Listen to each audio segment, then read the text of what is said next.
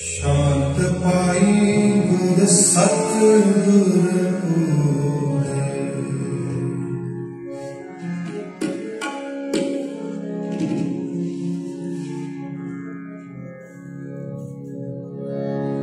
ਸ਼ਾਂਤ ਪਾਈ ਗੁਰ ਸਤਿਗੁਰ